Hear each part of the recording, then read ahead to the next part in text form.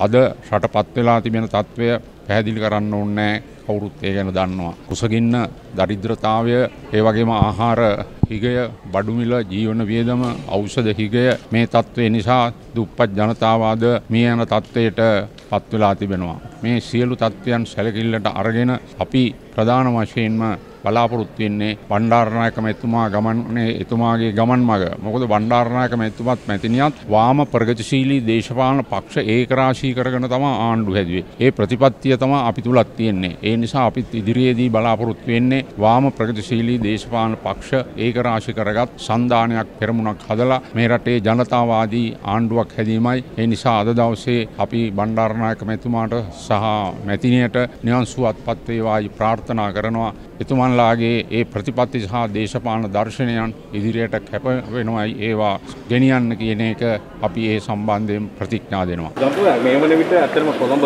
අධි ආරක්ෂක කලාපවෙන් කළා. ඔබතුමාගේ කාලේ මේවා තිබ්බද? ඇයි මෙහෙම තත්ත්වයක් උදා වෙලා තියෙන්නේ?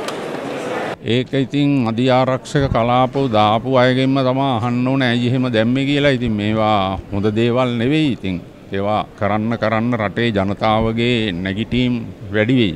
ඒක නිසා ජනතාවට පීඩාකාරී තත්ත්වයන් නැතිවීම සහ එවැනි තීන්දු තීරණ ගැනීම තුළ සිද්ධ වෙන්නේ ජනතාව තවත් ආණ්ඩු විරෝධීව ඉස්සරහට එන එකයි. මොකද ජනතාවට තියෙන බරපතල පීඩාවන් සමග අද ජනතාව ජීවත් වන්නේ කොහොමද කියන එක අපි කවුරුත් දන්නවා. මේ කතා කරන ඔබටත් මටත් අපි සෑම කෙනෙකුටම ඒ ආර්ථික අර්බුදයේ ප්‍රතිඵල දැනලා තිබෙනවා. ඉතින් ඒ තත්ත්වයේ උඩ ජනතාව සංසුන් කරලා ඒ අයට කරුණු පැහැදිලි කරලා දීලා ඒගොල්ලන්ට නිසි මාර්ගයක් පෙන්වා දීලා රජයේ ආර්ථික වැඩපිළිවෙල මේකයි කියලා කියලා දීලා රජයේ නිලධාරීන් මේ සඳහා දැනුවත් කරලා එවැනි වැඩපිළිවෙලක් තමයි කරන්න ඕනේ. නමුත් ඒක නෙවෙයි කෙරෙන්නේ ඒකේ අනිත් පැත්ත. ඔබතුමාගේ ඔබතුමාගේ පාලන කාලය ආරම්භ කිරීමත් එක්කම අපි දැක්කා ඔබතුමාගේ ඇමතිවරු කිහිප දෙනෙක්ම ගිහිල්ලා මේ මේ බැරියර් වලට පයින් ගහලා මේ අධි ආරක්ෂිත කලාප ඕනේ නැහැ කියලායි පටන් ගත්තේ. දැන් මේ තත්ත්වය බොහොම වෙනස් වෙලා තියෙනවානේ මේ වෙනකොට. ඔව් දැන් මගේ පාලන කාලේ තිබිච්ච දේවල් මේ අද මොකුත් මේ ප්‍රශ්න නැහැනේ. මේ අද තියෙන ප්‍රශ්න කිසිම දෙයක් මගේ පාලන කාලේ තිබුණේ නැහැ. මිනිස්සු දෙයියන්ගේ පිටෙන්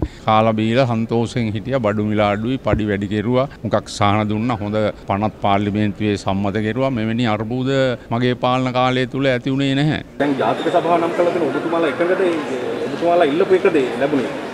නෑ ඇත්තටම අපි ඉල්ලුවේ ඔය විදිහේ ජාතික සභාවක් නෙවෙයි. අපි ඉල්ලුවේ සර්වපාක්ෂික ආණ්ඩුවක් හැදීම සඳහා මුලින්ම ජාතික සභාවක් හදලා ඒ ජාතික සභාවට ජනාධිපතිවරයා සමග සාකච්ඡා කරලා අගමැතිවරයෙක් පත් කර ගැනීමත්. ඉන්පසුව ජාතික සභාවේ අදහස් අනුව ජාතික සභාවත් ජනාධිපතිතුමත් අගමැතිතුමත් සාකච්ඡා කරලා 20කට අඩු ඇමති මණ්ඩලයක් පත් කර ගැනීමත්. එවැනි කරුණු ගණනාවක් තිබුණා. නමුත් ඒවා සම්පූර්ණ අනිත් පැත්ත කැර ලැබුණේ ඇමතිවරු ඔක්කොම පත් කරලා අනික අපි සම්පූර්ණයෙන්ම විරුද්ධයි මේ තරම් විශාල ඇමති සංඛ්‍යාවක් පත් කරනවාට අපි කියපු මුලින්ම පත් කරන්න ඕනයි කියපු ජාතික සභාව අනික් වැඩ ඔක්කොම කරලා ඉවර වෙලා ජාතික සභාව පත් කෙරුවා. ඉතින් කොහොමද අපි ඒවට එකතු වෙන්නේ? ඉතින් ඒ தත්ත්වය තුල රජය ජනතාව වෙනුවෙන් ගන්නා වූ යම් යම් ජනතාවගේ පීඩනකාරී තත්ත්වයන් අවම කරන්න ඒවාට ජනතාවට යම් කිසි පහසුකම් දෙන්න යම් කිසි තීන්දුව තීරණ ගන්නවා නම් අපිට ඒවට සහයෝගය දෙන්න පුළුවන්.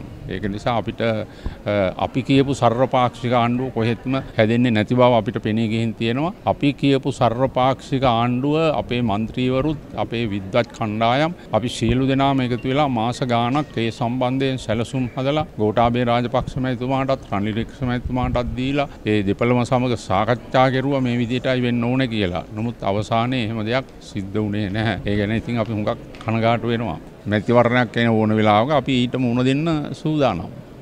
asianmirror.lk